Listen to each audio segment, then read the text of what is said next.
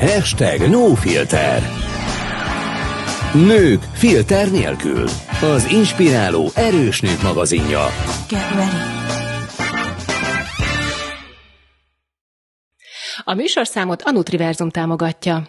Szép jó napot kívánok mindenkinek, nagyon sok szeretettel köszöntöm a kedves hallgatókat és a YouTube nézőinket is, én Köböl Anita vagyok, és itt van velem a stúdióban mai vendégem, akinek nagyon örülök, és mondhatunk úgy, hogy druszám. Nagyon sok szeretettel köszöntöm Ábel Anitát, színésznőt, műsorvezetőt, szia, jó reggelt! Jó reggelt mindenkinek, illetve is.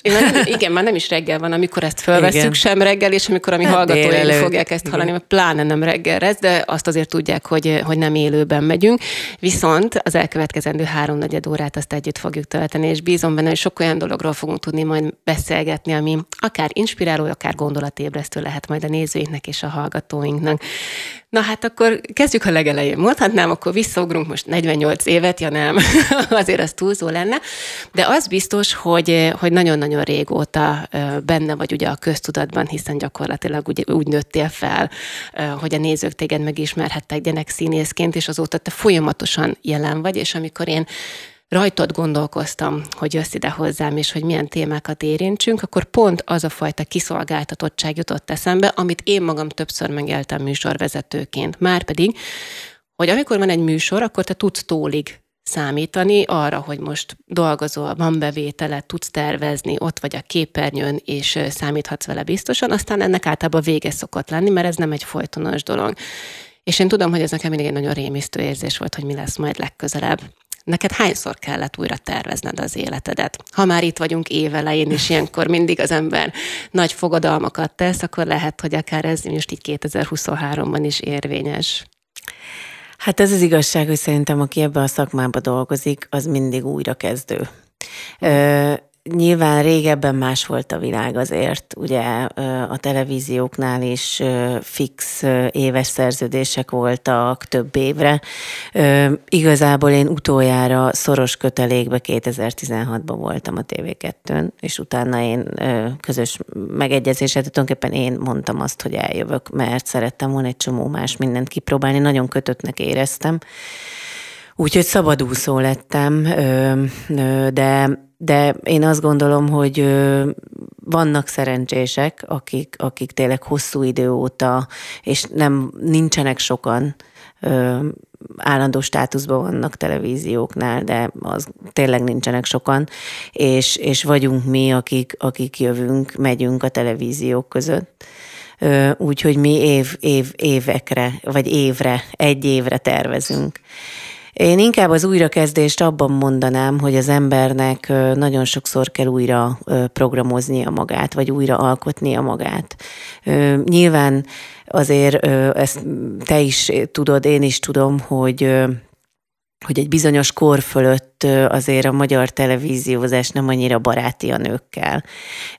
Mi külföldön az 50-60 éves műsorvezetők szinte teljesen megszokottak és természetesek, addig nálunk egy picivel az a tendencia van, hogy inkább a fiatalok, a, a csinos, friss, ropogós, amivel nincs is baj. Én azt gondolom, mert, mert az mindig jó, amikor látsz tehetséges embereket a televízióban. Inkább egy újrafogalmazás van, azt, azt hiszem mindig évről évre merre akarok menni, az, amit abban az évben csináltam, az kielégíte, az jó-e, abba ki tudtam-e teljesedni. Én inkább így fogalmaznék. Nyilván az, hogy ö, van egy ilyen ö, furcsa kép rólunk, akik a médiában dolgoznak, vagy színházakban, hogy mi talicskával toljuk haza a pénzt, és dúskálunk benne, és gyakorlatilag a gyereket is a 20 ezresekkel fürdetem, ez nincs. Tehát, hogy azért ez nem Hollywood, és messze vagyunk még ettől. Ö, nyilván nem azt mondom, hogy egzisztenciális problémáink vannak, de amit te is mondasz, ez, ez abszolút így van, hogy van egy fél év, ami pörög, ami megy, és utána lehet, hogy sokkal csöndesebb, tehát tulajdonképpen te abban a fél évben teremtesz meg mindent, ami azokban a csöndesebb időszakokban ö, tudod biztosítani a, a, a saját igényeidet, a gyereked igényét, a, az, az élethez, ami, ami kell. Úgyhogy ebből a szempontból, aki ebben a szakmában dolgozik, az egy kicsit mind, mind benne van szerintem ez a félelem, hogy... De ez a félelem nem tesz egyébként görcsösé, vagy, vagy egy olyan stresszt nyom rád, amivel folyamatosan kezdened kell valamit, és mondjuk pont az a karakterű egyébként szerintem ugye az országunk egyik legismertebb műsorvezetője és színésznője vagy, aki viszont nem, nem pörget több tányért olyan értelemben a levegőben, hogy nagyon sokaknál látott, hogy akkor éttermet nyit, ruhamárkája lesz, parfüm, mit tudom én, szépségi partudon. Viszont te, neked azért van egy elég egyenes pályád. Nem tudom, hogy van-e benned ilyesmi, hogy valamit szeretnél úgy megvalósítani, hogy ez mondjuk a képernyőtől vagy a színpadtól teljesen független, de számodra egy biztonságérzetet ad. Nézd, én nem vagyok üzletasszony, tehát, uh-huh. hogy ö, erre azért nagyon hamar rájöttem. Mert volt ilyen próbálkozás? Nem, nem volt ilyen próbálkozásom, nem gondolkoztam ebben. Tehát, hogy Nyilván az ember persze gondolkozik A-B terveken, de, de ha mondjuk most én biztos, hogy nem ezt csinálnám, hogy csinálok egy ruhamárkát, vagy lesz egy parfümöm.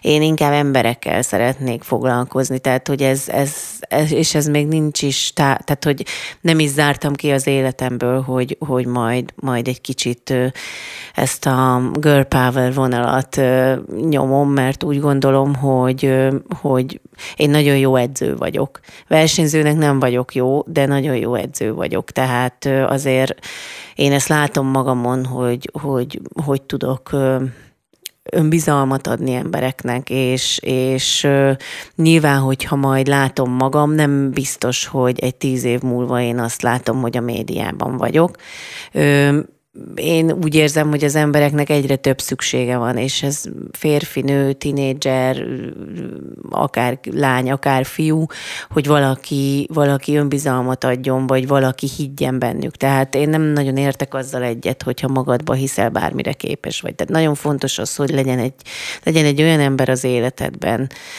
aki, aki hisz benned, aki megtámogat ebben az egész dologban. De olyan értelemben, hogy jó az, ha van, csak nem elég, vagy önmagában szerinted ez így nem létező, hogy Szerint... ha hiszel magadban, akkor az úgy bármire elég? Szerintem minden nagy ember egyszer valaki elindított az úton. Tehát, hogy, hogy lehet, hogy most már nincs, de az, az mindig jó, hogyha valaki ott áll mögötted, vagy ott állt mögötted az életed egy bizonyos szakaszában, és fogta a kezed, vagy ott volt egy váll, amire ráborulhattál volna, ha éppen el voltál keseredve. Úgyhogy én ezt nem látom, hogy ilyen nagy businesswoman leszek, mert nem érzem önazonosnak ezt a dolgot. Tehát azért meg lehet nézni, hogy sokan csapnak bele dolgokba. Egy éttermet működtetni az egy teljes embert kíván. Egy nyilván az, hogy van egy parfümmárkád, egy sminkmárkád, ez egy teljesen jó dolog, hogyha te ezzel tudsz foglalkozni. De ezer fele kell szakadnod. Tehát amikor azért van egy forgatás, és gyakorlatilag négy-öt hónapra te kiesel az életből, mert ilyenkor kiesel el az életből. Tehát, hogy tényleg még egy csekket se tudsz feladni a postán, mert nincs időd, mert reggel fél hétől este tízig forgatsz, akkor nem biztos, hogy úgy tudod ezeket a magokat és a kis cserjéket öntözni, ahogy te szeretnéd. És azért nagyon, nagyon sokan elvéreztek ebbe. Én nem is érzek magamban egyébként ilyen fajta affinitást. De az tény, hogy, hogy vannak terveim, ami, ami nyilván a szakmámhoz kötődik, vagy belőlem fakad, vagy abból az önazonosságból, vagy hitelességből, amit, amit én próbálok és tartok is képviselni.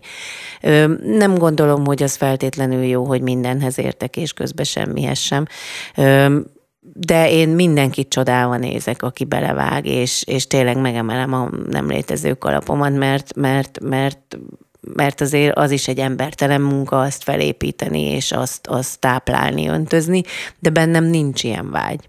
Jó is, hogy mondod ezt a táplálást és öntözést, mert miközben hallgatlak, azon gondolkozom, mint még az imént is mondtál, hogy ugye vannak, szerintem egy kezünkön meg tudnánk számolni, hogy hány az a műsorvezető, főleg női műsorvezető, akik folyamatosan ott vannak a top kategóriában, és tényleg 20 éve látod őket a képernyőn, és ugye azt mondtad, hogy, hogy ez benned született meg az a döntés, hogy nem szeretnéd ezt így folyamatában csinálni, vagy javítsi kérlek, hogyha félreértettem esetleg, mert hogy pont arra szeretnék rákérdezni, hogy amúgy miért dönt döntöttél úgy, hogy nem ezt az életutat vagy pályautat választod, mert azért a biztonság az egy nagyon nagy for tud lenni az életben, és szerintem te tartozhattál volna, oda tartozol, csak értsd jól a kérdésem, mert Persze. még inkább, hogy az állandóság mellett ott van az, hogy időről időre kvázi tudsz azért tervezni, képernyőn is vagy, abból tudsz profitálni, abból a karrieredet egy nagyon jó biztos magasságban tudod tartani, de akkor úgy éreztem, mintha, mintha mégsem emellett döntöttél volna. Hát abban az időszakban én nagyon szerettem volna más vizekre elvezni, és egy kicsit más fajta dolgot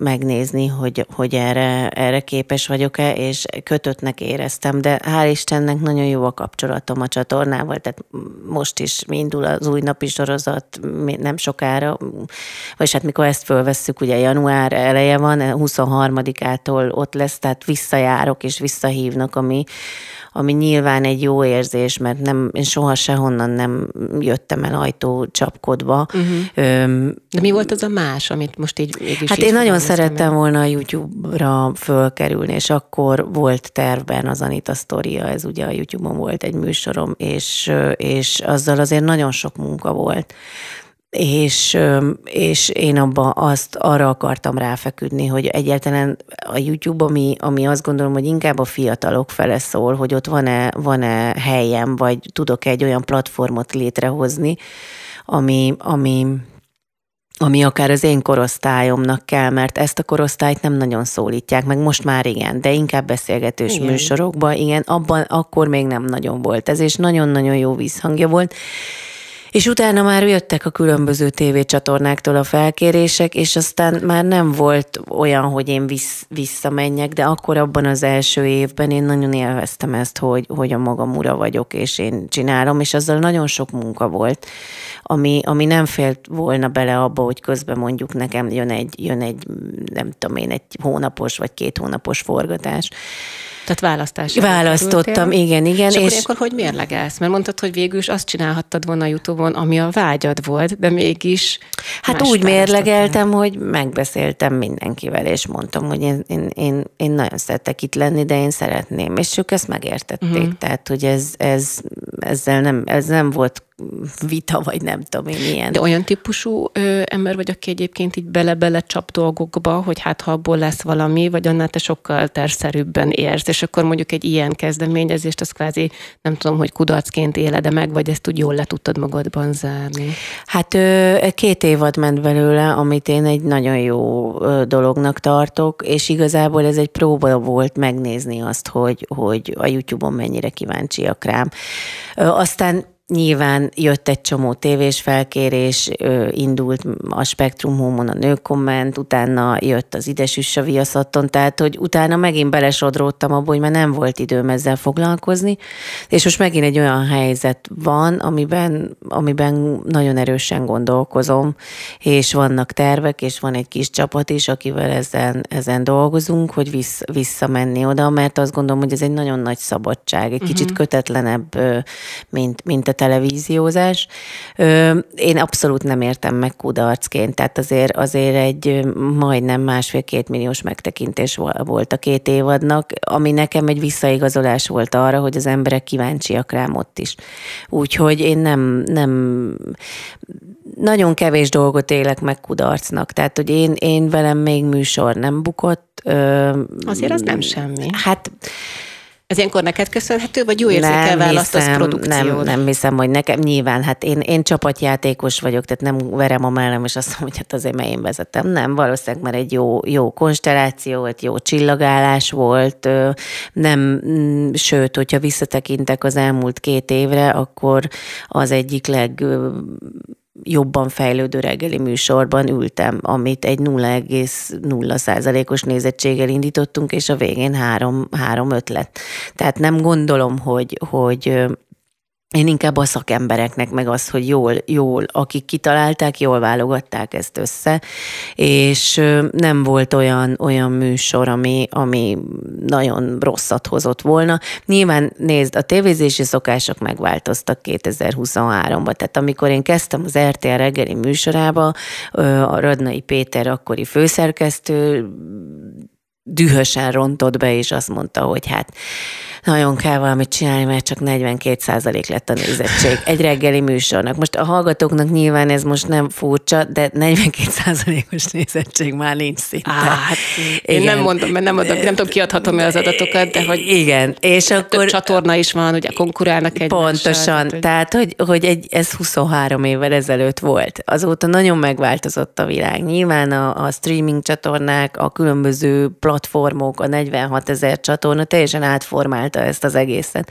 Tehát itt, itt már nem beszélhetünk így, vannak nagyon sikeres műsorok, én is ültem baromi sikeres műsorban, ültem kevésbé sikeresben, de nem volt nekem soha olyan, hogy úristen, most ez, fú, hát ez most életem legrosszabb. Tehát, hogy így, ha visszatekintek, akkor mindegyik műsor olyan volt, amit vagy vezettem, vagy zsűriként ültem benne, vagy szereplőként, amit örömmel és szívesen mhm. Csináltam. Egy jók az intuícióim, tehát volt olyan, amire nemet mondtam például és utána tudtad, vagy láttad azt megbukni? Hogy és nem megbukni, mert én nem szeretem hogy... ezt a szót, mert uh-huh. azon is emberek és a kollégáim dolgoznak. Nem, kevésbé volt sikeres. De Csak én, én nem látom, nem láttam magam ebben a, ebben, a, ebben a szituációban, vagy ebben a tematikában, és akkor inkább azt mondtam, hogy nem. Tehát, hogy minden áron öm, nem, nem, én nem akarok szerepelni. Nagyon sok helyre hívnak. Ö, hívnak párkeresőbe, hívtak dzsungelbe, hív, tehát nagyon sok helyre, de én nem látom magam ebben. Én tudom, hogy, hogy én mire vagyok képes, mire vagyok jó. Mm, nem, nem, nem, nem érzem ezt. És csak azért, hogy az ember ott legyen, az, az, az meg azért, már akkor is távol el tőlem, amikor mondjuk húsz évvel ezelőtt anyagilag nagyon jó lett volna, de éreztem, hogy nem, nem, én fogom magam rosszul érezni, uh-huh. és az, az meg nem jó. Ez a szakma rákfenéje is egy kicsit szerinted, hogy az emberben van egy ilyen görcsös akarás, hogy egyszerűen mindenhol is ott akar lenni, pártaláló, párkereső, párkapcsolati műsorban, bogaratevő, táncoló, éneklő, de már tényleg, hát nem ezt látjuk.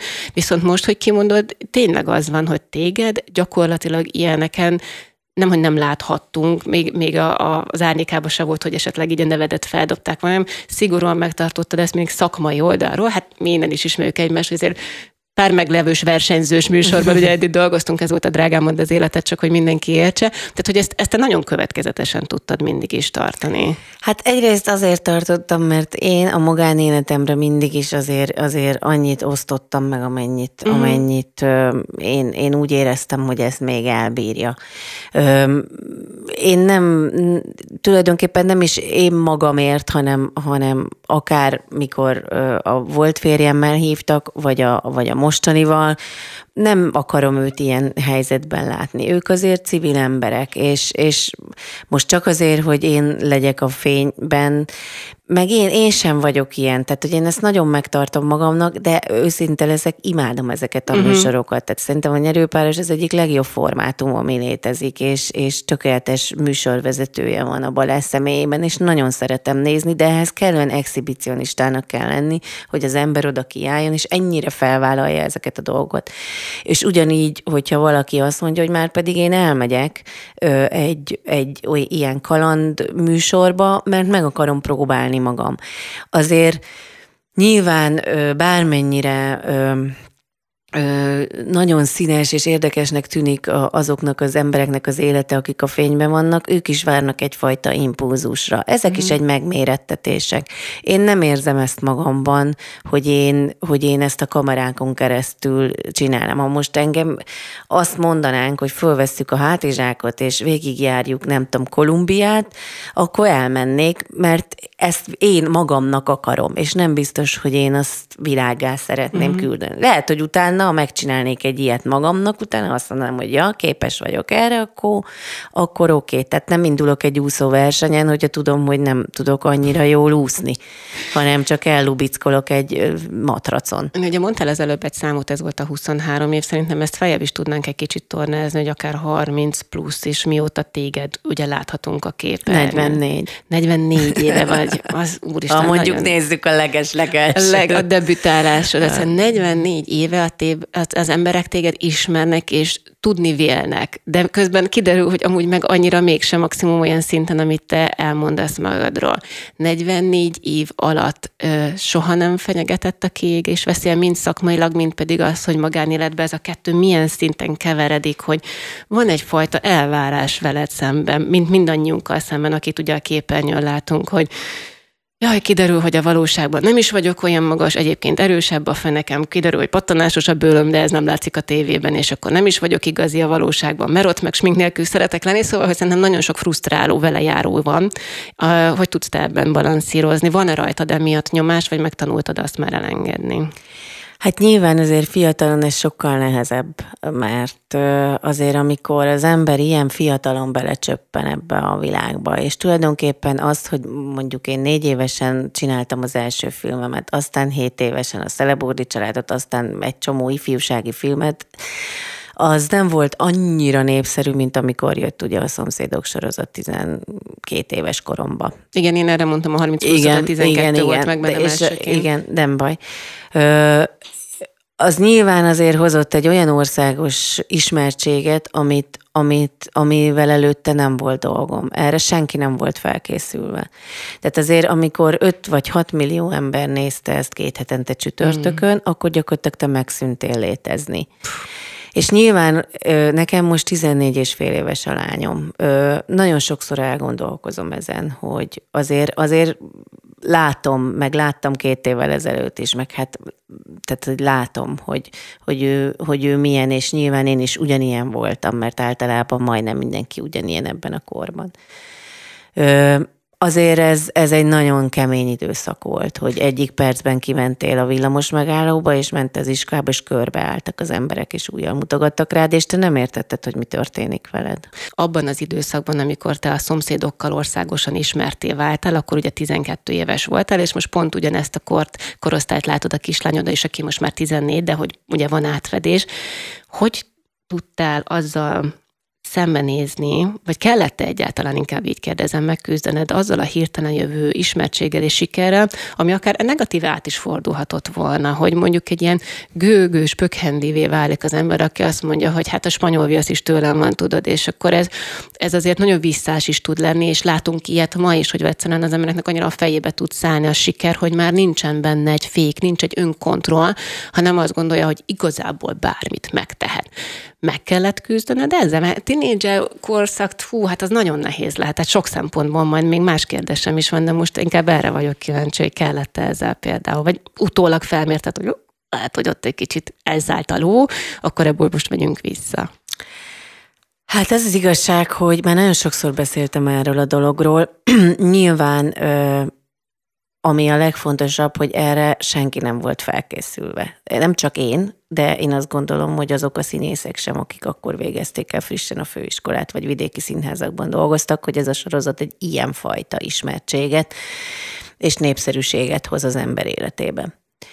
Nyilván az ország nagy közös gyerekének lenni az mindig nyomasztó, és számtalan elvárás volt velem szemben, hát akkor 87-ről beszélünk, tehát hogy az, hogy mondjuk egy gyerekpszichológus, vagy bárki mm. ott lett volna, aki segít ezt az elképesztő ismertséget, népszerűséget feldolgozni, ez nem volt.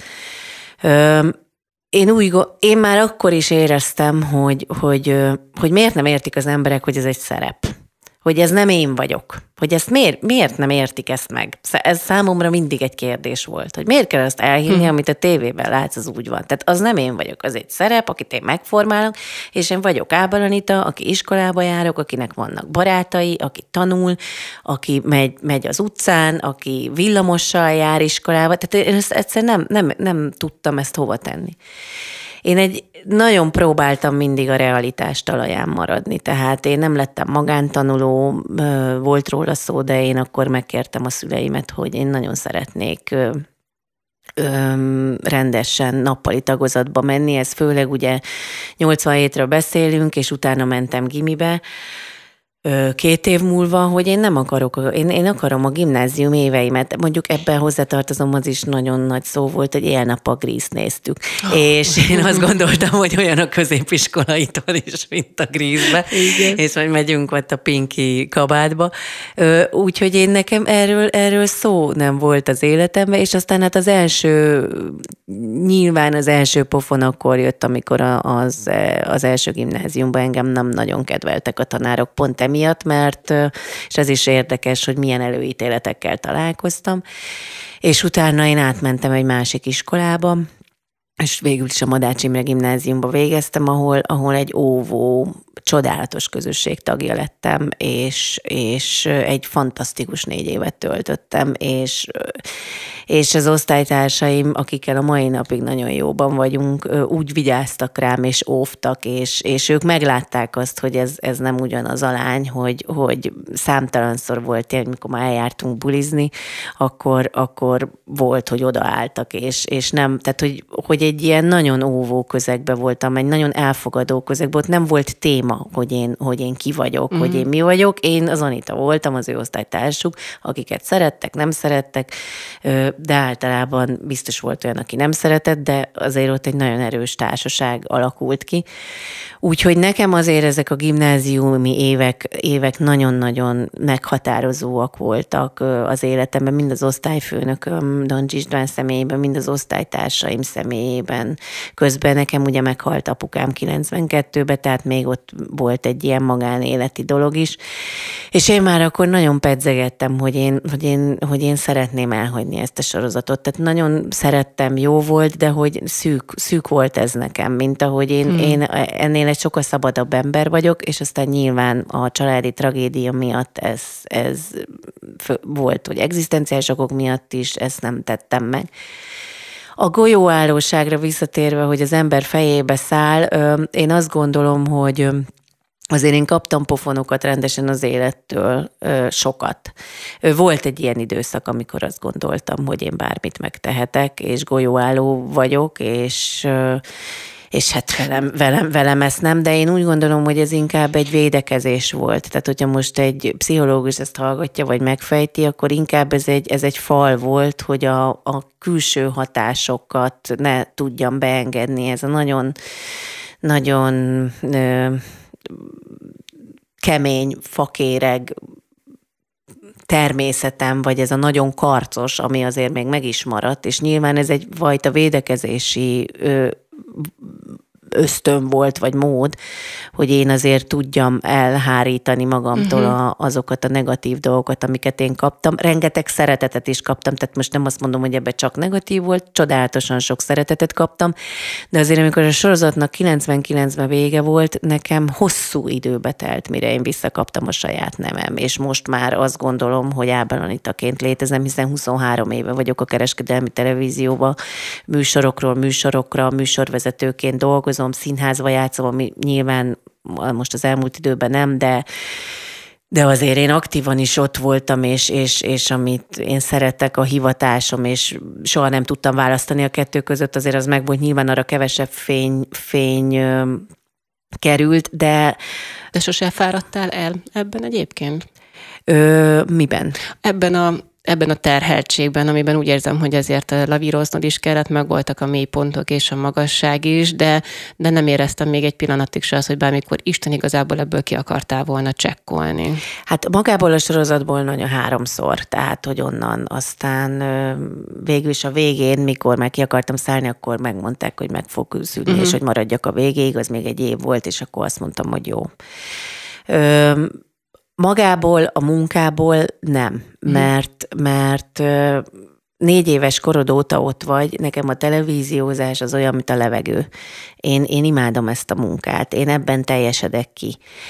Azt, hogy az ember néha kiég, de ez is akkor tud, tehát hogy én mindig mertem felállni. Amikor öt évig csináltam az RTL Klub reggeli műsorát, akkor már egy éve éreztem, de egy fél éve mindenképp, hogy már nem tudok annyit beletenni. És gyűjtöttem, gyűjtöttem az erőt, hogy, hogy én akkor most, most fölmegyek, és azt mondom, hogy, hogy, hogy akkor én, én annyira hálás vagyok, mert itt tanultam meg mindent a televíziózásról, Kunzsuzsa szárnyai alatt, és Radnai Péter alatt, és, és, és élőműsort vezettem reggel, reggel nulla tapasztalattal, Alföldi Robi, Stól András, Balázsi Panna, Barabás Évi mellett, tehát hogy, hogy azért ez egy nagyon-nagyon nagy szakmai iskola volt de éreztem, hogy elfáradtam, hogy szeretnék valami újat. És aztán hát a Vigyázz, mit kívánsz, ugye átalakították a műsort, és többek között ők is látták ezt, és akkor kölcsönösen uh-huh. szép, ha azt mondanám, hogy közös megegyezéssel, de nem kirúgtak, tehát hogy ő hamarabb megelőztek engem,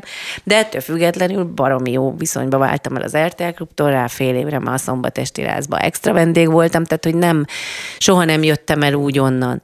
De ezt is éreztem akkor, tehát hogy nagyon sokszor én az, tehát amikor én már érzem, hogy valamiben elfáradok, vagy valamiben már én nem tudom azt a színvonalat nyújtani, akkor én merek fölállni. Tehát én nem ragadok be ö, a, egy helyzetbe csak azért, mert jó, ez biztos, ez oké, okay, mert, mert az hamis lesz, uh-huh. és a mhm. nézők látni fogják, és én ezt nem szeretném.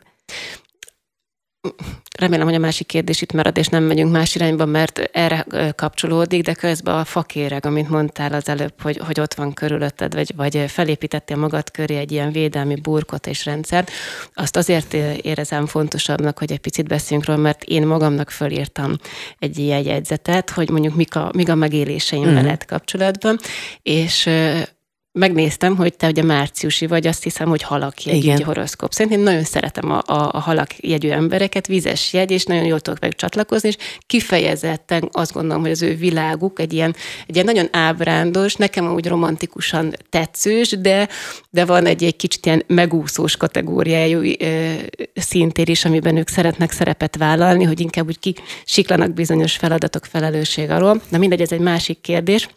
Erre majd reagálhatsz, hogy egyébként ez rád igaz-e vagy sem. Minden esetre meglepődtem ezen, miközben azt érzem veled kapcsolatban, vagy fogalmazódott meg, hogy például amikor a drágámot forgattuk, akkor tudom, hogy volt olyan, hogy mondjuk egy leállásnál, egy szünetnél láttad, hogy mély ponton vagyok, oda jöttél, hogy az, amit az elején említettél, hogy kell önbizalmat adni az embereknek, és, és kapcsolódtál, és egy éreztem egy ilyen kis szeretetburkon, miközben ott a másik oldal is, hogy mondjuk találkozunk egy interjúnál, ahol 5-6 percünk volt ugye annól live-ban is egy reggeli műsor, és éreztem rajta egyfajta távolságtartás, hogy mondom, jaj, jaj, jaj, jaj, mi történt? Az Anitával nem tudok kapcsolódni, mert most épp vagy te valahol máshol jársz, vagy rövid volt rá az idő, de éreztem egy falat, amit nem tudtam áttörni. Benned van ez a kettőség, vagy ez a, ez a kéreg, amit felépítettél?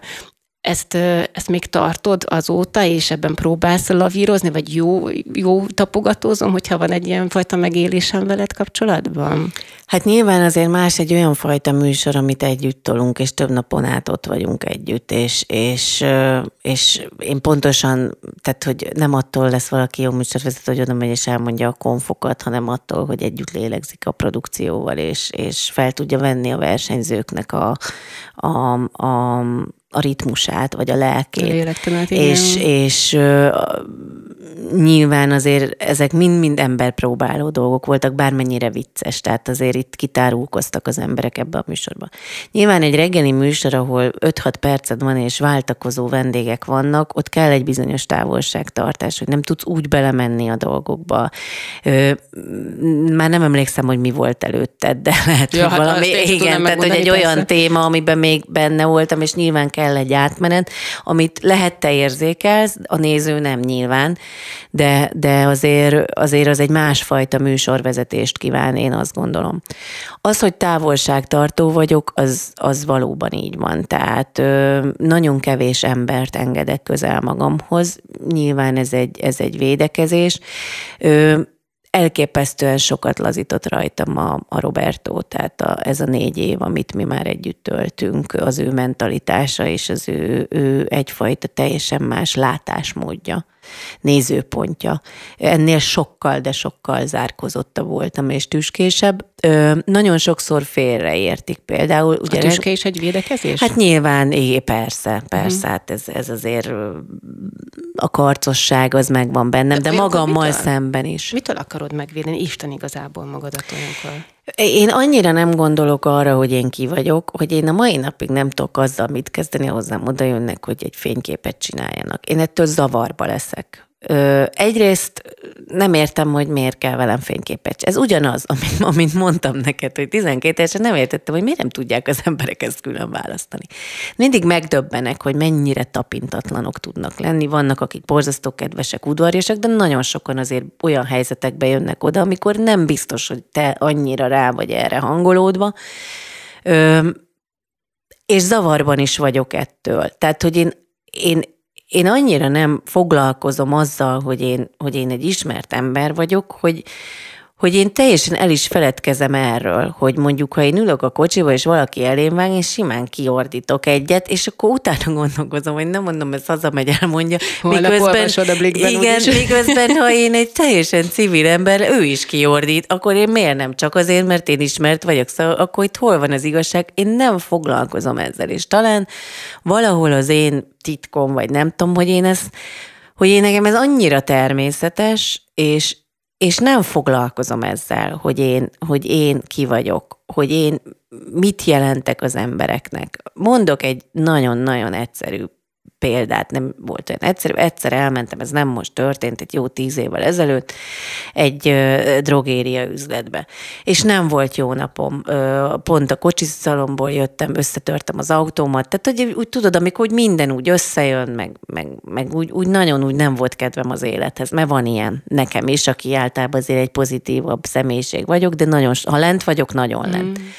És ott a pénztáros hölgy meglátott, és akart egy fényképet kérni tőlem fotót telefonnal, és mondtam neki, hogy mondom, ne haragudjon most, egyáltalán nem alkalmas, most nem tudok, mondom, hadd fizessek, menjek, oké. És kimentem a kocsiba, és azon gondolkoztam, hogy úristen, mekkora bunkó vagyok. Tehát, hogy mondom, le, ennek ez a hölgy itt ül egész nap. Lehet, hogy nagyon szeret engem. Földobtam a napját azzal, hogy bementem. És akkor mondtam, hogy tényleg nem, nem lehetek ilyen. Tehát, hogy ez, ez, ez nem volt szép. És visszamentem, és mondtam neki, mondom, figyelj, mondom, ne haragudj, mondom, iszonyú szar napom volt, összetörtem az autót, de mondom, én, én köszönöm, és mondom, gyere, csináljuk meg azt a fotót, és röhögjünk az sok mindenen, mm. ami körülvesz minket. És annyira cuki volt, hogy elkezdtünk ketten sírni, valószínűleg ő se volt jó paza, és sem, nem láttak az emberek, csak pénztáros tővel össze volt, és akkor megcsináltuk a fotót, de hogy nem, nem lehet, tehát hogy nyilván, hogy vannak az embernek kötelezettségei, még hogyha hogyha úgy is érzi, hogy, hogy, hogy nehéz ez. Szóval, hogy és, az, és sajnos azáltal, hogy ott vagy a tévében, nem sajnos, hanem hogy azáltal, hogy ott vagy a tévébe, ö, egy állandóan online vagy, vagy nem tudom, tehát, hogy... hogy igen, ez hogy, a folyamatos jelenlét. Igen, igen, igen, igen hogy ettől, ettől ismerlek valahonnan, akkor neked kutya kötelességet közszereplő vagy, akkor kutya kötelességet elviselni azt, hogy mit tudom én, a közösségi felületeken elküldelek az anyádba. Kutya kötelességed elviselni. Nem, egyébként meg nem. Miért kellene? Tehát, hogy én, én is ugyanolyan ember vagyok, és mindig ezt szoktam mondani, hogy a történetem, a történeteink ugyanazok, csak fényesebb a munkánk. Mm, vagy más. Vagy látványosabb. Igen, igen, vagy látvány. Tehát, hogy ett, ettől mi még ugyanúgy sírunk, nevetünk, fáj, rosszul vagyunk, rosszul éljük meg, megvisel, tehát hogy nem vagyunk ö, különbözőek, és, és hogy ezt nem, nem értem, hogy az emberek miért nem értik. Tehát, hogy én, én nem tudom, tehát hogy nekem eszembe nem jutna oda menni, most nem hasonlítom magam hozzá, tehát félreértés ne essék, de mondjuk Angelina Jolie ott ebédelne a gyerekeivel, mert ő akkor a gyerekeivel van. És nem azért, mert, mert én tudom, hogy milyen hagyja, hanem mert mert az az ővé. Ő Miközben azért ez egy jó érzés is tud lenni, nem? Tehát, hogy kapod ezt a fajta szeretetet az emberektől. Nyilván, nyilván, tehát én nem ezt mondom. Tehát az, az óriási dolog, amikor tényleg valaki oda jön, és elmondja, hogy mennyire szeret, szereti, amit csinálok, hogy hogy feldobom. Tehát, hogy én csak most ugye erről beszéltünk, Igen. de és pont ezt mondom ennek a felelősségét, hogy nem lehet. És ez egy hosszú idő volt azért, amíg én ezt megtanultam. Uh-huh. Mert, mert magamat annyira nem teszem oda, tehát hogy nem, nem úgy élek, hogy én reggelben nézek, hogy ah, jó, én az Ában Anita vagyok. Tehát, hogy én egy, tehát, hogy érted, tehát, hogy nekem ez, hogy én annyira nem, nem így élek, és, és simán nem megyek pizsamába a közérbe, mert nem érdekel. Tehát, hogy, hogy nincs bennem ez a fajta, nem tudom én. Frusztráltság. Igen, hogy most nekem minden pillanatban ott tip-top, és, és meg, kell, meg kell felelnem, és, és nem tudom én. Úgyhogy, úgyhogy valószínűleg ez ezért van, és nagyon sokszor tényleg zavarban vagyok mm. attól, hogy az emberek kíváncsiak rám, vagy a szeretettől, vagy a, vagy a és ez nyilván egy rossz beidegződés, hogy vajon tényleg engem, de azt gondolom, hogy most már igen. Mm. Tehát, hogy még volt a sorozat, és gyerekként, jaj, de cuki, az, az nyilván nem nekem szól. De most már azért látnak belőlem annyit, hogy, hogy, hogy most már valószínűleg az én személyem, vagy szeretik, amilyen vagyok, Nyilván, nézd, az ember élete végéig tanul, tehát, hogy, hogy ezeket a dolgokat, Ez ezeket fel kell dolgozni, és közben meg van egy életed, amit élsz ezen kívül, ami tele van nehézséggel, akadályjal, örömmel, boldogságos pillanatokkal, fájdalmakkal, nevetősekkel, ami, ami meg egy másik része, ami, ami hat rád. Na, szeretném is, hogy egy picit a munkától elkanyarodnánk, és akkor igazán még, a, még a, az énedet egy picit jobban megismerni, meg azt, ami nem nem látványos, és nincs ott a, a mindennapokban előttünk. Nem tudom, hogy tudsz róla az előbb, ugye Roberto egy pillanatra megemlítetted, és hogy nem tudom, hogy tudsz arról, hogy az én életemben is volt egy Favaro, őt úgy hívják, hogy Stefano Favaro. Én együtt dolgoztam vele, még akkor, amikor a Talma Management igen, tímjében dolgoztam, ha minden igaz és jók az információm, ő egyébként Robertónak az édesapja.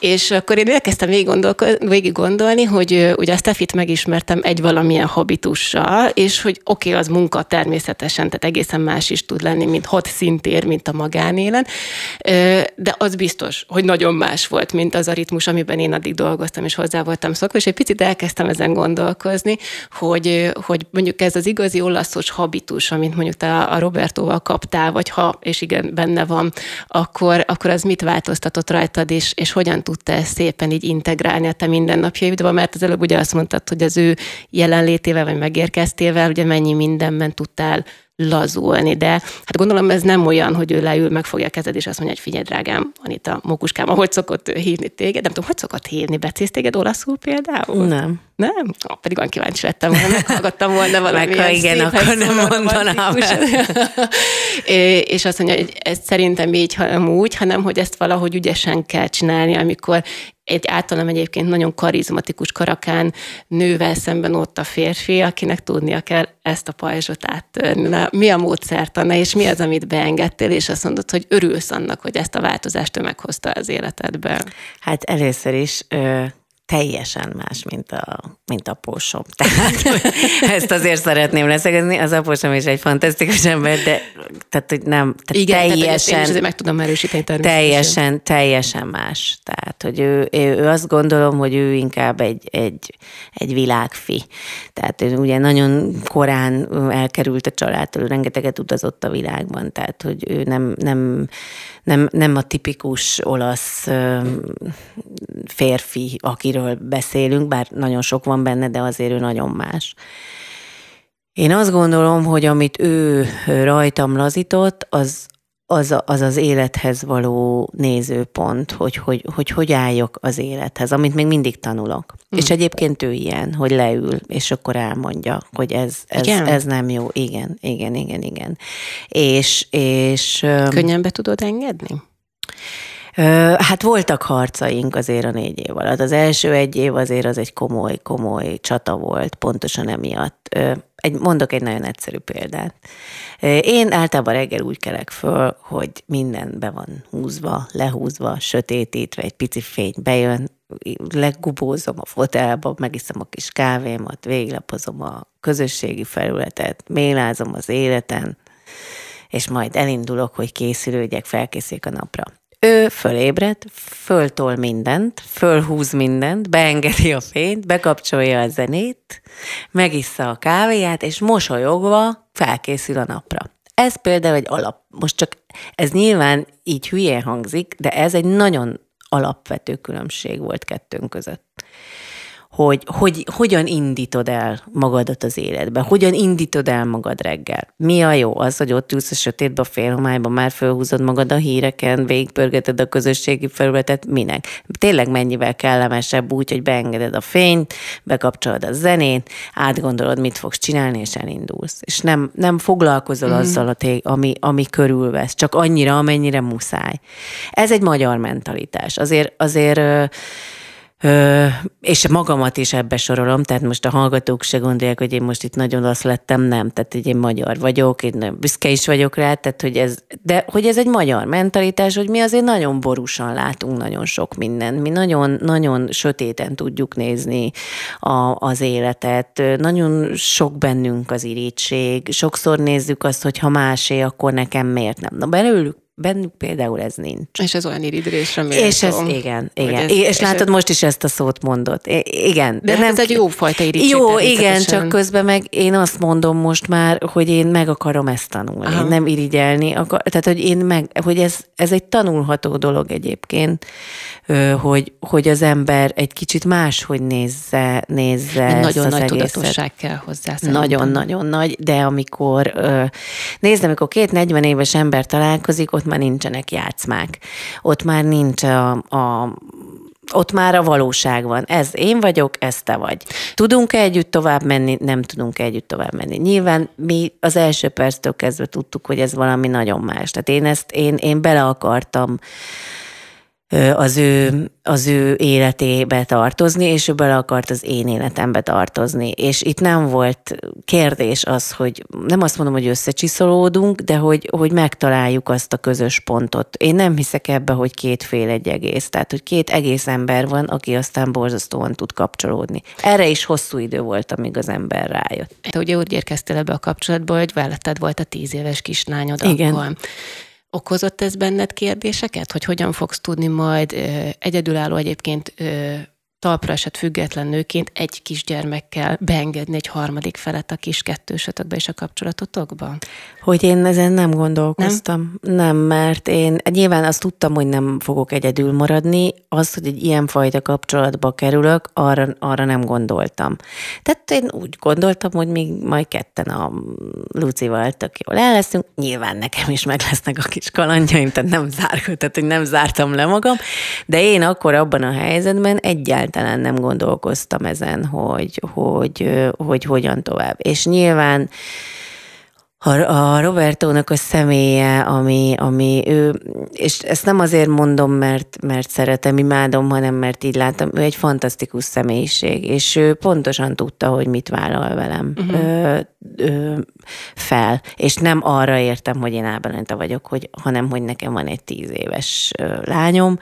Ö, és benne egy percig nem volt ez kérdés. És szabad kezet adtál neki? Hogy, Igen. hogy akkor Igen. ő neveljen, irányítson, segítsen Ő nem nevel, ő nem, ő nem, ő, ő a, a, a Lucinak a barátja, uh-huh. ő mhm. nem nevel, ő soha nem is akarta az édesapját helyettesíteni, tehát hogy ez, ez nem is volt ez kérdés. Ő ahogy ő szokta mondani, ő Robi bácsi. Tehát, hogy nem, ez nem, nem volt. És nem mondom, hogy ez egy könnyű út volt, mert, mert de az nagyon sokat segített, és, és az egy nagyon fontos ezt megemlítenem, ezt is sokszor elmondtam, hogy nekem nagyon jó a viszonyom a volt férjemmel, és mellette is egy olyan fantasztikus csaj van, aki, aki nagyon, nagyon szereti Lucát, és elfogadta ezt, hogy mi jóban vagyunk. És én mindig ezt mondom, hogy igenis lehet ezt kulturáltan csinálni, mert attól, hogy két ember nem folytatja közösen az életét, attól mi még szülőtársak maradunk életünk végéig. Egy olyan szövetség, amit, ami felbonthatatlan, és ami a család. Ö, nyilván ez egy nagyon fontos része, hogy nem egy harmadik fél miatt mentünk szét, hanem egyszerűen ez 16 év után elfáradt ez a kapcsolat. Ö, és bár ő is úgy érezte, de soha nem lett ez így kimondva. Én voltam az, aki ezt kimondtam, de én, én tudtam azt, hogy mind a ketten egy boldogabb, kerekebb életet fogunk élni, és ez így is lett. Ö, Úgyhogy bennünk ez, ez nem, nem... Ami még a gyereknek akkor kifejezetten jó Igen, is tud én, én azt nem? gondolom, tehát én nagyon sok emberrel beszéltem, szakemberekkel, én, és én egyet akartam, én nem akartam, hogy majd a Luca 20 akár évesen ott jön egy pszichológusnál, és uh-huh. azt mondja, hogy egy nagyon nagy gondom van, hogy anyáméknak el kellett volna válni. És mégis, tehát, hogy ez, ez nem, és magam miatt sem, nem a gyerek miatt, tehát, hogy ez, ez én éreztem azt, hogy, hogy még fiatal vagyok, hogy egy olyan helyzetbe, és visszatérve arra, amit kérdeztél, hogy amikor a munkáról is, hogyha én valahol azt érzem, hogy már nem tudom azt nyújtani, akkor én onnan eljövök, és ugyanez az én magánéletemre is igaz. Volt egy olyan mondatod az egyik interjúban, amiben aztán nem mélyültetek el, de nagyon kíváncsi vagyok rá, hogy, hogy az anyaéned ö, hogyan funkcionál és hogyan gondolkozom, mert bennem millió egy kérdés van, és hát ha egy nálamnál tapasztaltam, már tud valami zászlós hajóként előttem menni ebben az ügyben, úgy hangzik a mondat, hogy szülőként nagyon nehezen viselem a világban zajló történéseken. Szerintem ez egy iszonyatosan fajsúlyos mondan nagyon sok mindenre rávilágít, és kíváncsi vagyok arra, hogy most számodra mi jelenti a legnagyobb kihívást, mert hát a történések alatt egyrészt sok mindent érthetünk, mi az, ami neked mondjuk így a leginkább meghatározza most az érzelmi és gondolatvilágodat anyaként. Hát nyilván a biztonság, ami, amit a, ami a világ most azért nem a biztonságról szól. Ö, talán azért is ennyire érzékeny ez a dolog, mert, mert ugye a lányom most kezd leválni, amit, amit, amit azért megmondok őszintén, elég nehezen viselek. Meg is tudom érteni, ez Ö, egy nehéz szakasz Igen, ez, ez egy, amikor tényleg egy tehát, hogy két dolog küzd benned, az egyik az, hogy nem, még nem akarom elengedni a kezét egyáltalán semmilyen szinten, a másik meg az, hogy de el kell, hogy engedjem a kezét, mert, mert ő egy önálló individuum, ő nem, ő nem az én, én tehát, hogy meg neki meg, igen, ő, ő, ő, egy, ő, ő egy különálló valami, én szerencsés vagyok, hogy az anyukája vagyok, és terelgethetem, de nem. Szóval ez, ez nehéz helyzet ám, és szerintem minden szülő, aki most ezt nézi, és ilyenkorú gyermeket nevel, az pontosan tudja, hogy miről beszélek. Ez egy nagyon nehéz, nehéz korszak. Ilyenkor mit kell neked megértened? Azt, hogy nem mindenre vagy hatással, vagy lehetsz hatással, vagy mondjuk hozol olyan mintákat a saját pont ugye ebből a korszakodból, amikor ugye végül is az önállósodás útjára léptél, bár ugye nálad ez egy speciális helyzet is volt, hogy mire volt szükséged, és akkor ezeket újra fel eleveníteni, hogy, hogy szülőként ne ugyanazokat a hibákat kövesd el, amit mondjuk nálad elkövettek, vagy úgy érezted, hogy ez nem jó, vagy sokkal inkább kellett volna egyfajta biztonság, ami nem adatott meg, és akkor ezt szeretnéd megadni? Hát ami, ami, ami nekem nehéz volt, hogy egy kicsit engem azért magamra hagytak, tehát amit én nem szeretnék vele kapcsolatban. Ö, én azt mondtam neki, ö, volt egy beszélgetésünk, nem is olyan rég, és azt mondta, hogy anya, anya kérlek ne aggódj, már ennyire értem. Hogy, hogy ne, ne csináld ezt, mert ez, mert ez gáz, ez ciki. Tehát ez mondja, bízzál bennem ennyire. És akkor én azt mondtam neki, hogy figyelj, mondom, jó, értelek, és mondom, tényleg lehet, hogy túltoltam, viszont én meg akkor egyet kérek, hogy egy kicsit legyél türelmes hozzám. Mert mondom, ha én rád nézek, én nem azt látom, amit te a tükörben, hanem én azt látom, hogy itt van egy, hogy, hogy még az én kicsi babám vagy. Hogy nem látom azt a kis emberkét, akit te látsz, aki szempillaspirálozik, aki ilyen hajat akar, aki már festi a körmét, aki smink nélkül már nem megy iskolába, én nem ezt látom.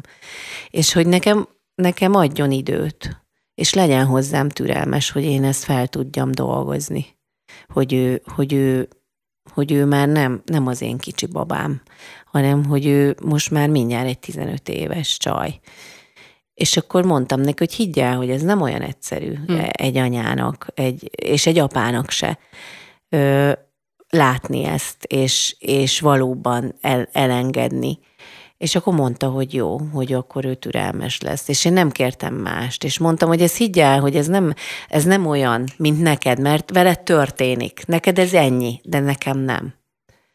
Az hiányzik, hogy, hogy ezzel a, az, hogy kirepül az otthon biztonságában, már nem, tud, nem tudod őt megvédeni olyan dolgoktól, amit, amit úgy érzel, hogy veszélyként leselkedhet rá, és ez most értelemszerűen nem arra gondolok, hogy nem tudom, van a sarkon egy bokor, aki bárki uh-huh. megbújhat, tehát hogy ne gondoljunk mindig a legrosszabbra, de hát nagyon sok minden történhet a világban, ami, ami mondjuk engem például tudom, hogy szülőként egy ilyen folyamatos aggodalommal tölt el, hogy Jézusom, hogy fogom ettől megvédeni, és hogy fogom attól megvédeni, és nem akarom, hogy ezt a csalódást megélje meg, ezt a csalódást, de közben pont, amit te mondtál, ez már itt van a fejemben, hogy le kell róla majd egyszer válnom, hogy... Na, de neked még nagyon messze.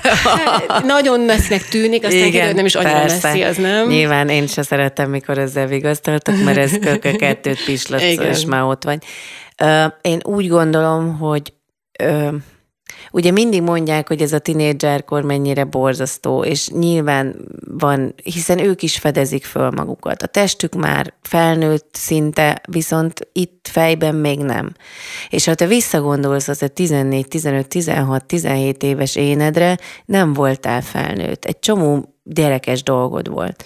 És szerintem erre kell visszamenni egy szülőnek, hogy békén kell hagyni, hogy, hogy, hogy hogyha ő egész nap a szobájába akar lenni, mert ő ott érzi jól magát, akkor legyen egész nap a szobájába, és ne erőltessünk rá dolgokat. Viszont amikor meg lejön és beszélgetni akar, akkor, akkor igenis álljunk készen erre, és nem uh-huh. mondjuk azt, hogy jaj, most fáradt vagyok.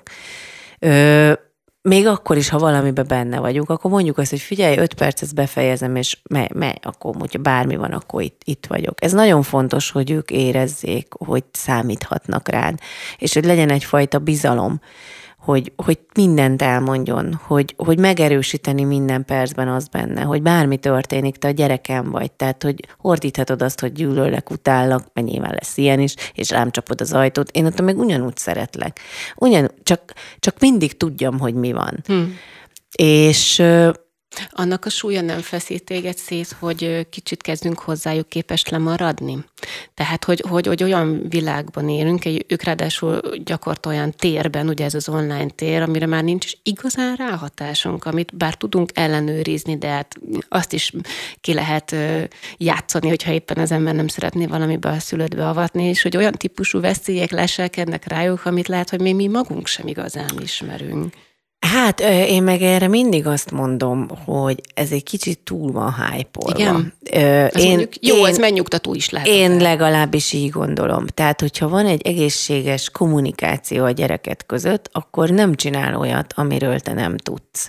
Ez ugyanolyan, mint amikor megtanítottad járni, vagy a kis motorral menni, és ment, mint az őrült, de megtanulta, hogy a járda szélen meg kell, be kell fékezni ezt a kis motort, és nem lehet tovább menni. Az online tér is ez. Ott is vannak szabályok, amiket mondani kell ezerrel, minden pillanatban. És mi erről nagyon sokat beszélgettünk, amikor őt ez elkezdte érdekelni. És hoztam példákat neki, mutattam neki dolgokat, hogy ezt hogy lehet lekezelni, hogy, hogy, hogy, hogy miért nem lehet neki nyilvános a fiókja, hogy miért, miért, miért kell vigyázni erre és arra, mert nem tudhatod, hogy kiül a másik uh-huh. oldalon. Úgyhogy én, én úgy gondolom, hogy azért mi nagyon alapvetően a szabályokat lefektettük, és ebbe hál' Istennek az édesapja is partner volt. Azért mertem ezt így kérdezni, mert az előbb ugye egy fél mondatban arra utaltál, hogy, hogy hogy téged nem feltétlenül tudtak, tehát ugye, hogy elengedtek a, a szüleid akkoriban, amikor ugye egy olyan élethelyzetbe keveredtél, hogy jött egy önállósodás, és hogy nem esetleg az történt, ahogy egy számukra is teljesen idegen terep volt, amiben azt se tudták, hogy, hogy mivel és hogyan tudnak téged a leginkább segíteni vagy megvédeni, és hogy mondjuk számukra ez a mai világ egy ugyanilyen ismeretlen terep, és hogy nehogy esetleg mi magunk is belefussunk el, hogy bármennyire is szeretnénk az ismeretlen. Nem tudom, hogy mennyire akarták ezt megérteni. Azért nyilván ez is egy generációs váltás. Tehát te is egy olyan helyzet szakmában dolgozol, ahol muszáj, hogy menjünk ezzel, mert, mert ez diktálja a szakmánk. Uh-huh. Tudnunk kell a trendeket, tudnunk kell a dolgokat, tudnunk kell a veszélyeket. Tehát, hogy persze nyilván ők nagyon képben vannak, de mi is ott vagyunk és felzárkózunk mögöttük tehát szerintem ezekről tudni kell. Ne abban az időben az, az én szüleim, az a generáció, az nem ilyen volt. Az egy kényelmes generáció volt. Tehát egy teljesen más mintát hoztak a szüleiktől, teljesen más, hogy csinálták ezt az egészet. Nem is volt nagyon, ez most nem azt mondom, hogy divat, hogy, hogy mondjuk, nem tudom én, egy iskola választásnál, hogy, hogy elmenjen a szülő a gyerekkel. Az én anyám nem jött el velem gimnáziumot választani. Engem beírattak az első önkormányzati, vagy hát akkor még ahova tartoztunk kerületileg általános iskában, nem nézték meg azt, hogy most akkor fejlesztésileg én rendben vagyok-e, vagy kell-e logopédus, vagy nem tudom én. Tehát egy teljesen más világot éltünk. Ma két fajta szülő van, aki túltolja ezerrel, és, és megy egy versenyszellembe, én nem ebben, én nem ebbe tartozom. Én, én soha a Lucitól se kértem azt, hogy te, ő legyen kitűnő tanuló. Én egyet mondtam neki, két nyelvet beszél anyám. Tehát tényleg ennyit kérek, nem kérek matekötöst. Két nyelvet tanuljál meg, baromi jó szinten, és hogyha úgy érzed, menjél. Ha te azzal leszel boldog, hogy nem tudom én a majorkai főtéren, Pálmadi Majorkába festesz, akkor, akkor ott leszel boldog. Tehát, hogy ez engem, mert ez az ő élete. De miért pont, miért pont a nyelvek akkor? Mert gondolom, hogy abban viszont van egy megfogalmazott álláspontot, hogy, hogy milyen előnyt láthatsz. Mert szerintem a világ nagyon színes, és a világ, a világ, a világ akkor nyílik ki egy, a világra az ablak, hogyha te, hogyha te meg tudod tanulni, ha meg tudsz szólalni, ha ott tudsz lenni. És, és ha két olyan nyelvet beszélsz, amit sokan, akkor, akkor a nyert ügyed van. Uh-huh. És, és azért mi nagyon csúnyán le vagyunk maradva. Az én generációm azért, azért nagyon csúnyán le van maradva ebben, ebben a tekintetben. És én ezt nem szeretném. De akkor ez egyúttal azt is jelenti, hogy egy picit kell abban is már gondolkoznod, hogy őt szélnek keresztd a virág, világban Én biztos is. vagyok, hogy ő menni fel fog. vagy készülve? Ö, igen, hát arra se voltam felkészülve, hogy majd egyedül közlekedik. Hát... Szerintem csak ugye mondtad, hogy most ugye türelmet kértél tőle, hogy Igen, de hát nyilván mire oda nagy... jutunk, addigra már 20 lesz, tehát uh-huh. hogy az ember már azért fel lesz készülve, de, de nekem fontos, hogy ő menjen. Tehát, hogy én biztos, hogy nem fogom őt visszatartani, és, és és én is egy nagyon nyitott ember vagyok, és én is neki is azt mondom, hogy menj, minél több dolgot tapasztalj, láss a világból. Nézd, a csalódásoktól nem fogod tudni megvédeni. Ez lehet szerelmi, emberi, ezeken át kell esnie, mert, mert ez van, ez létező dolog. Olyan emberrel én még nem találkoztam, akinek ne lett volna csalódás az Persze. életébe, vagy ne tiporták volna meg kétszer-háromszor a lelkét, vagy törték volna össze a szívét. E, ez, ez az élet az egy fontos dolog, hogy abból hogy áll föl, hogy mit lát. Hogy, hogy azt látja, hogy az van belőle, hogy mindenből föl lehet állni, már pedig én ezt próbálom neki mutatni, vagy azt látja, hogy fú, most akkor itt, itt van a világ vége. Ez a nem mindegy. De, de ezektől nem fogom tudni megvédeni. Az, hogy a világban mi zajlik, nyilván az ember nem magáért aggódik. Egy háború van a szomszédban, tehát hogy, hogy nyilván a biztonság, a félelem, ez a legelső, mi lesz vele, hogy védem meg, az, hogy velem mi lesz, az most senkit nem is érdekel, mm. engem sem érdekel.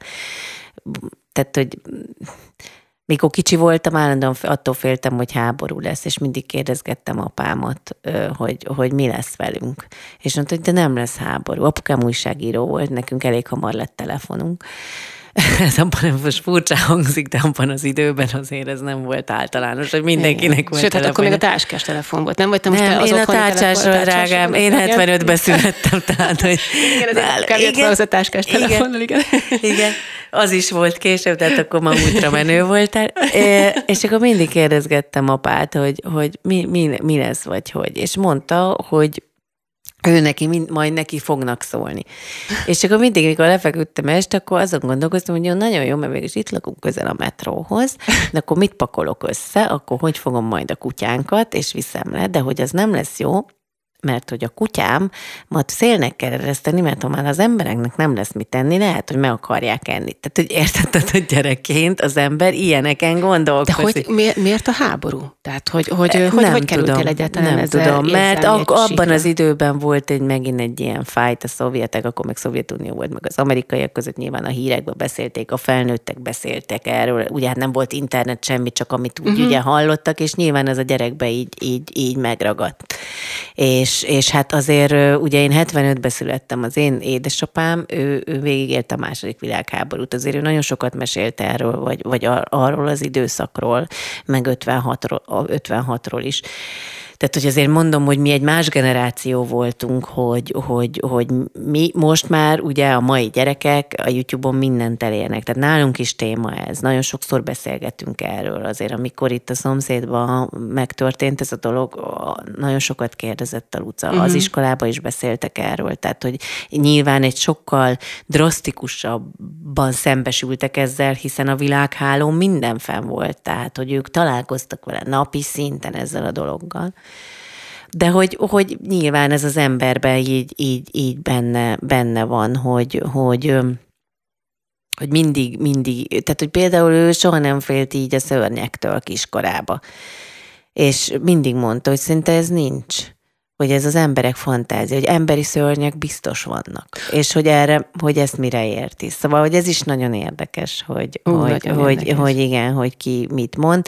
De hát most nyilván ez egy nagyon sarkallatos dolog, meg nem is ezt akarom, hogy nekünk ez a téma. Én próbálom őt arra nevelni, hogy ő, hogy ő jól érezze magát a bőrében, hogy, hogy mennyire fontos a belső érték. Én sokkal jobban tartok például attól, hogy ugye rengeteg impulzus éri őket a közösségi felületen. Az én kép, ami egy lányba, hát az egy, az egy nagyon... Pont ezt a korszakát. Pont, igen, igen. igen. Tehát ettől én sokkal, és erről azért van témánk otthon, hogy ez nem, hogy mi a valóság, hogy mi az igazi érték egy emberben, hogy, hogy, hogy kitől, ki mennyire lesz szép, hogy, hogy miért, miért van az, hogy ő mondjuk magán nem szeret valamit, akkor hozok példát. Tehát, hogy az van, hogy én nem felejtettem el ezt a korszakomat, uh-huh. mert mindenkinek volt ilyen korszaka, és hogy erősíteni ebben a, ebben a dologban őt, hogy, hogy megmutatni neki, hogy mi, mi a helyes irány. Hogy, hogy lehet, hogy nekem nem tetszik, ahogy ő aznap felöltözik,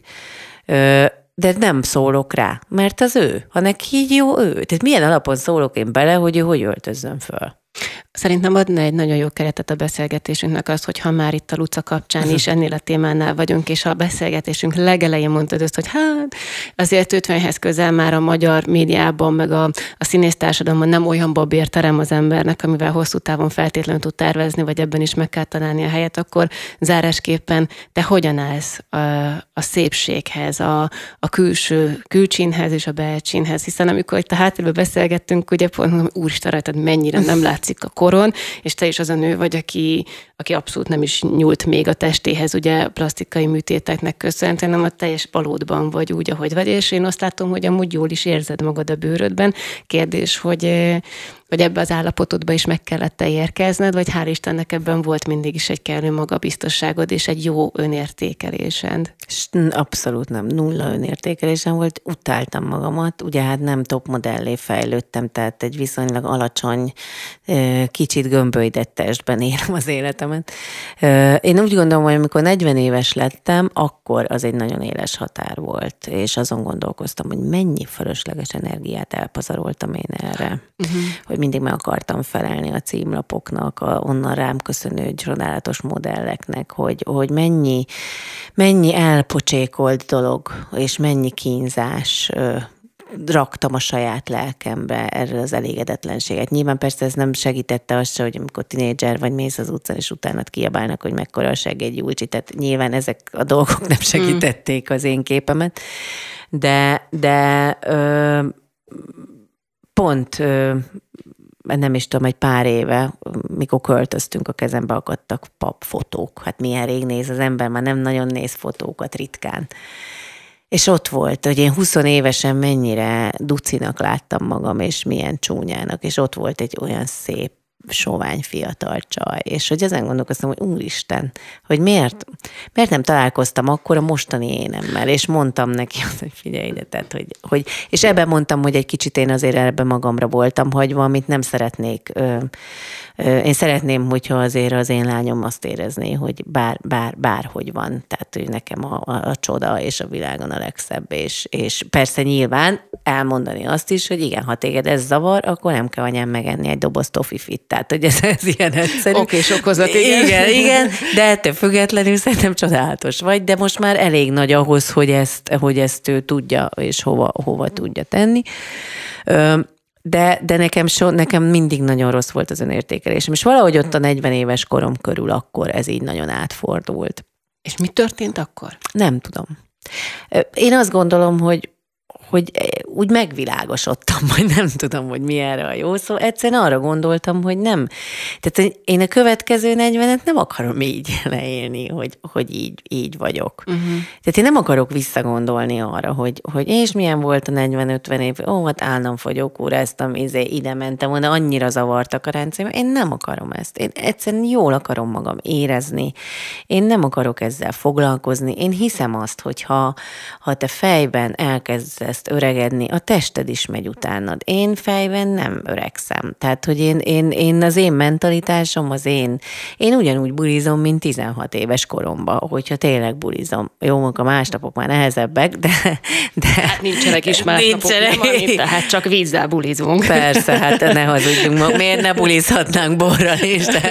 de, hát de... Hát a francia miniszterelnök nőt, aki egy kicsit lazábra engedte a gyeplőt, amúgy alkoholmentesen egy buliban, és táncolt szabadjára eresztve a jó kedvét és a mindent, hogy elővették, hogy hát ezt egy miniszterelnök nem engedheti Na de hát magának. ő a miniszterelnök volt, lehet, uh-huh. én, én se engedném, de egyébként miért ne? Tehát én ezzel megyek, én árral szemben vagyok, ezt mondtam neked, tehát én is ember vagyok, és én néha én is szeretek bulizni és táncolni hajnali. De ne legyünk már álszentek. Igen, ne, és na, én ettől igen. ki, ki vagyok, hogy ne legyünk már álszentek, és egyébként egyáltalán nem érdekel ez az egész, mert úgy nem lehet élni, hogy mit mondott a szomszéd néni, mert aztán tessék mondani, és mit mondott. Tehát, hogy én ezzel nem akarok foglalkozni, foglalkozni, és nem is fogok foglalkozni. És éppen ezért mondom, hogyha itt, tehát hogyha fejben kezd el valaki, akkor megy utána a teste. És, és például ez is egy nagyon-nagyon érdekes, amit én mondjuk az olasz mentalitással együtt megtanultam, hogy, hogy nézni ezeket a hölgyeket, akik 70-80 évesek, és tök elegánsan, és ez nem azt jelenti, hogy lóg rajtuk a drága ruha, hanem harmonikusan beülnek. De akkor mondtad, hogy neked még éppen az időben jött ez a, ez a fajta gondolat, hát és hogy téged fülön csípjen. Nyilván egy kicsit, nyilván egy kicsit igen, de hogy én, hogy én erre törekszem, hogy Figyelj, ezzel nem tudok mit csinálni, hát az idő megy, tehát, hogy most tehát, hogy bosszankodhatnék ezen napestig, hogy Jézusom, mennyi, de minek? Amit kell, én azt úgy érzem, megteszem, az se biztos, hogy tíz év múlva nem fogok ö, egy csodálatos esztétikai kezelést elvégezni magamon, ha én úgy érzem, uh-huh. hogy én abba, hogy, hogy egy kicsit rásegítek, vagy nem. Tehát, tehát ebbe ez miért baj? Most nem érzem ennek szükségét, vagy nem, nem foglalkoztat ez a dolog amit, ami, ami a lehetőségem, és amit úgy érzem, azt megteszek magamért, de, de nyilván leélhetnék egészségesebben, nyilván sportolhatnék többet, nyilván csinálhatnék mindent, de de én bocsánatot kérek, én szeretek jókat enni, és nem fogom magam kínozni azzal, hogy, hogy nem eszem jókat, szeretek meginni egy jó bort is. Hát most az az élet, hogy egész életemben erre figyeljek? Nem. Az az élet, hogyha élsz. Oké, okay, most már ah, az előbb meg volt a címe a beszélgetésünknek, most aztán megint egy címet, de jól van, köszönöm szépen a segítséget. Iszunk egy kis víz, ebben víz van, mindenki megnyugodhat. Ked, kedves egészségedre. Én még faggatnálak, de azért most már szerintem több mint egy órája is beszélgetünk, és, és nagyon élvezem, élvezem hallgatni azt, amit mondasz, és ahogy megfogalmazod a gondolataidat, mert lehet, hogy csinálunk egy ilyen ismétlőadást is, mert örülnék neki, hogy azt tudnánk folytatni, de elengedlek, mert tudom, hogy, hogy azért te is sok mindennel foglalkozol, dolgozol, és hát a nézőknek is bízom, hogy a kitartását eddig köszönhetjük, és akkor nem élek vissza a bizalmukkal. Ábel Anita volt a vendégem, köszönöm szépen, Én köszönöm, hogy itt voltál Anita, velem. Köszönöm. A nézőknek is köszönöm, hogy ezúttal is bennünket választottak, tegyek így, tegyetek így, tegyenek így jövő héten, és akkor is lesz természetesen hashtag nóféter. Szellák Vivien szerkesztőtársam nevében, és köszönöm szépen, hogy ezúttal is velünk voltatok. Sziasztok, viszlát, viszont hallásra.